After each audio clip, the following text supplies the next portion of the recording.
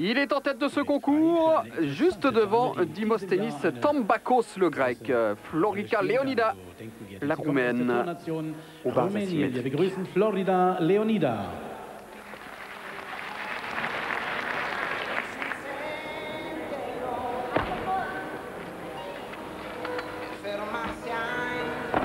Allez, à la parade, Octavian Belou, entraîneur national roumain. Mm. Grande figure euh, au niveau international, hein, Octavian Belou.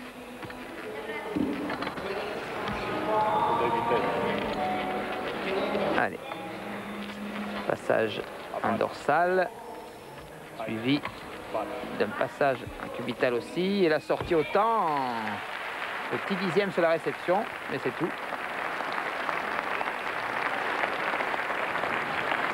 Coup d'œil du côté des juges qui ont décidé de lui attribuer la note de 9,437 pour la roumaine.